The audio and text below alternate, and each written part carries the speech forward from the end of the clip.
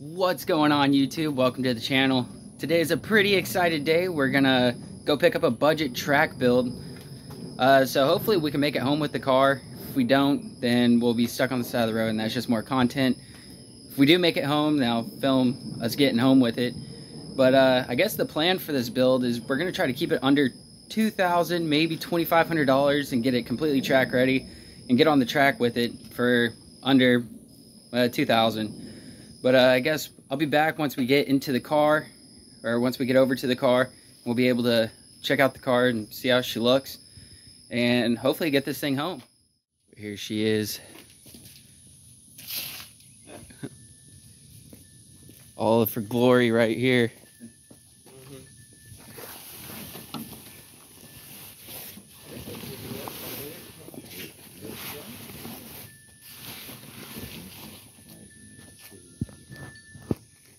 gonna need a little bit of work, but I think we'll make it work.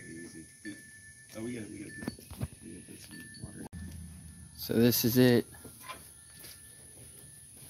It's got front end damage, so we're gonna have to replace fenders, fix the core support, front bumper.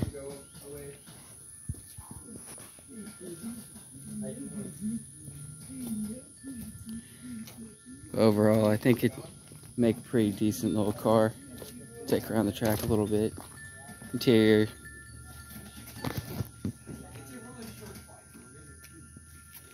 Well, she's running.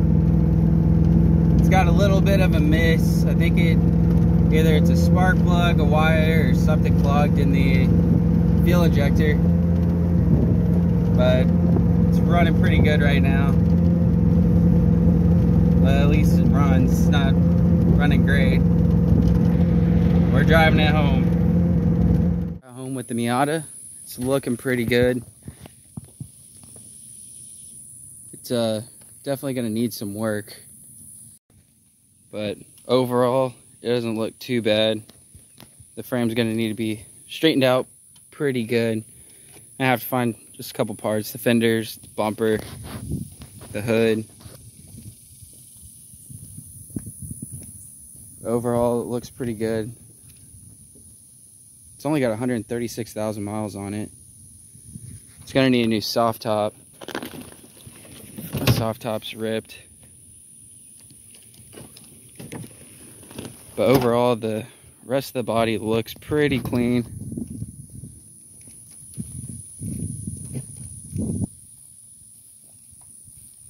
It's got a some Raceland coilovers on it. I don't know if we're going to keep those or not. If we're just going to trade them out, but we'll see. This is supposed to be a budget build, so hopefully we can figure something out with it.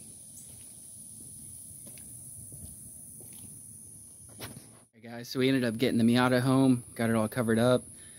Uh, I think I may have found some fenders and I may have found a hood already on Facebook. So I'm gonna pick those up here in a couple days. Hopefully get those in and get it on and get the whole project started. So if you guys like this video, go ahead and like, comment, subscribe, and we'll see you in the next video.